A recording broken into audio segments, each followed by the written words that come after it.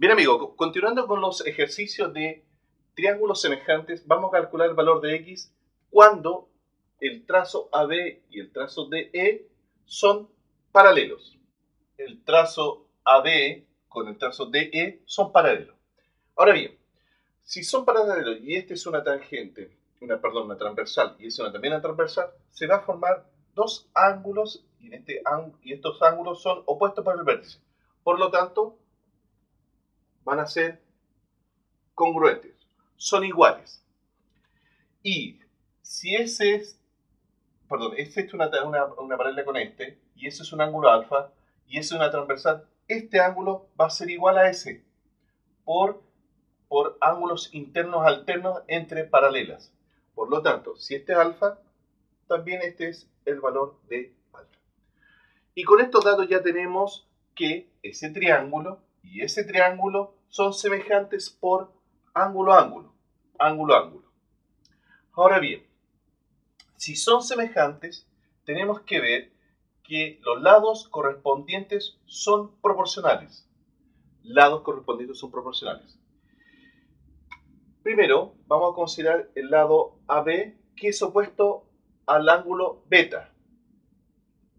Este lado es opuesto al ángulo beta. Por lo tanto, en el otro triángulo ese lado también es el opuesto a beta. Como son proporcionales, x partido por el lado 10 va a ser igual a cuál la otra proporción. Alfa es opuesto a este lado AC, que mide 7. Alfa es opuesto al lado AC, que mide 7. En el otro triángulo, alfa está opuesto al lado CD, que mide 5. En el otro triángulo, alfa es opuesto al lado CD, que mide 5. Ahora bien, ya tenemos la proporción. X es a 7, como 10 es a 5. Y hay que tener mucho cuidado cuando los ángulos están invertidos. Este está acá y este está abajo son iguales en medida. Ya lo habíamos explicado por ángulos internos alternos.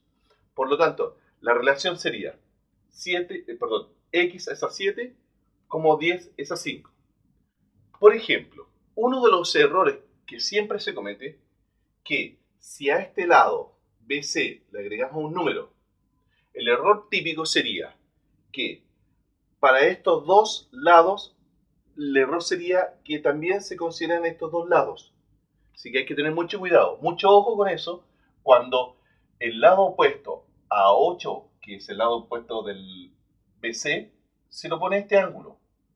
Pero este ángulo es congruente con ese. Entonces, ese lado debería ser proporcional con ese y no con ese.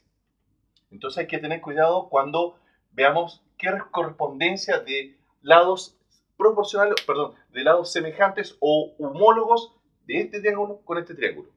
Es decir, si a este ángulo se lo pone este lado, a este ángulo también se va a oponer ese lado. Entonces sería 7 es a 5. 7 es a 5.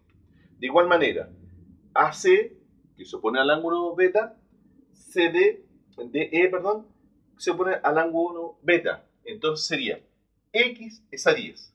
Entonces ya se forma una proporción. Ahora bien, Desarrollamos esta proporción. Multiplicamos cruzado. 5 por x es igual a 7 por 10. Despejamos x. 7 por 10 dividido 5. 5 en 10, dos veces. Y 2 por 7, 14. Por lo tanto, el valor buscado, en este caso, eso corresponde a 14. Vamos a ver un ejemplo de estos.